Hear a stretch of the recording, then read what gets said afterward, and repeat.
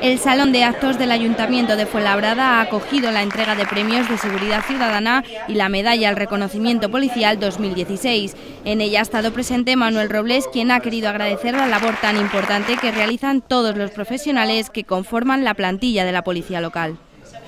Desde hace años, en las reuniones que el Gobierno municipal mantiene con las numerosas entidades sociales del municipio, los vecinos expresan su satisfacción por la buena salud de la seguridad ciudadana y el buen trabajo que desarrolla nuestra policía local.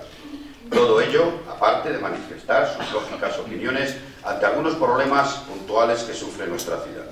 Esta misma opinión se repite en las entidades vecinales, en las comunidades religiosas, empresariales, etc. Como alcalde, no puedo, estar, no puedo más que estar orgulloso de esta percepción que los vecinos y vecinas de Fonabrada tienen de nuestro servicio de policía local, así como de los numerosos reconocimientos que han obtenido en materia de gestión de la seguridad local, atención a la violencia de género, seguridad vial, gestión de la diversidad social, etc. Pero creo que es bueno recordar que esta percepción tan generalizada no se ha logrado de un día para otro, sino todo lo contrario. Hace ya más de 15 años iniciamos un importante proceso de reforma de la policía local y ahora estamos cosechando la siembra que hemos ido haciendo, eh, recogiendo entre todos. Estos galardones se conceden a todos los profesionales y asociaciones que han destacado durante todo el año por sus acciones en materia de seguridad en nuestro municipio.